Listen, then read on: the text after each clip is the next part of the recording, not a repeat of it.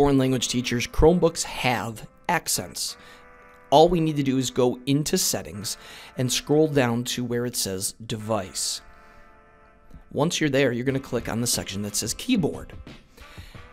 And once we get into the keyboard section, we're going to scroll down to the bottom where it says change language and input settings. And then we're going to look at our input method, hit the drop down, manage the input methods, and we're going to choose the international keyboard.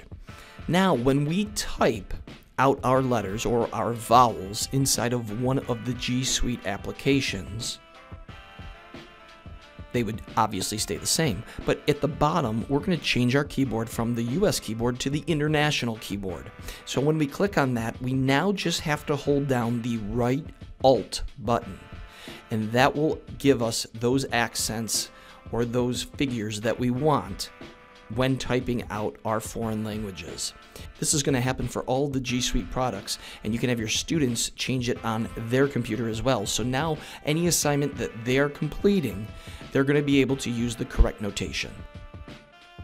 If you need to change it back, you just click on the settings. You're able to toggle back and forth from the international keyboard to the US keyboard.